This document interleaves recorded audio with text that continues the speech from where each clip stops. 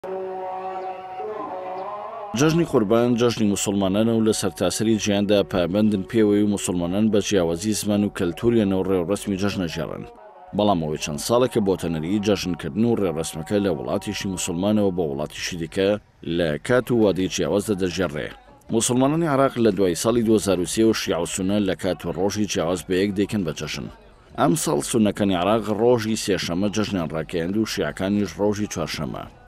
ئەو نەریتە بۆ موسڵمانانی وڵاتانی دیکەش ڕاستە، موسڵمانانی پاکستان ڕۆژی چوارشەممەیان کرد بە جەژن و دوای نوێژی جەژن ڕێوڕەسمیان بۆ بۆنێوژێڕا و قوربانییان کرد.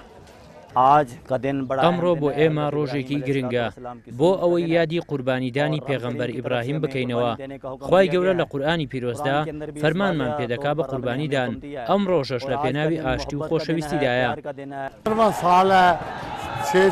لە ماوەی پانزە ساڵی ڕابردوودا خەڵک زیاتر لە شەست هەزار گایان کردووە بە قوربانی. هەر کەسە و بە پێی پێویست بەشی خۆی لەو قوربانییە وەردەگرێت.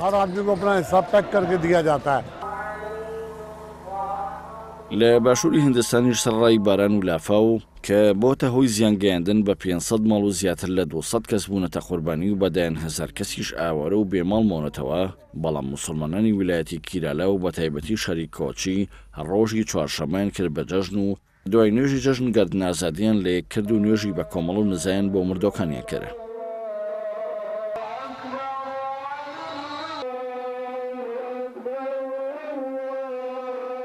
هاوشێوەی مسلمانانی وڵاتانی دیکە ڕۆژی چوارشەمە مسلمانانی ئیندۆنیسیاش دوای نوێژی جەژن ڕێ و ڕسمی جەژنیان ڕێخست و جەژنە پیرۆزیان لێکرا بە هەزاران مسلمانی ڕۆنجی ئاوەری خەڵکی میانماریش لە بەنگلادیش ڕێوڕەسمی جەژنیان لە خێوەتەکاندا ڕێکخست.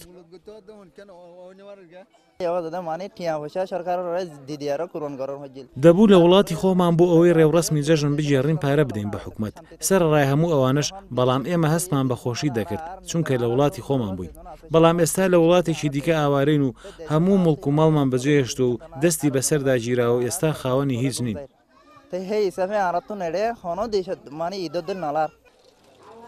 زیاتر لە حەوت سەد هەزار موسڵمانی ڕۆهینجی میانمار بەهۆی توندوتیژییەوە دژیان ئاوارەی مەگلاندیش بوون لەسەر ماڵ و حاڵی خۆیان ئاوارەن و لە خێوەتەکانی ئەو وڵاتەدا ئەژین.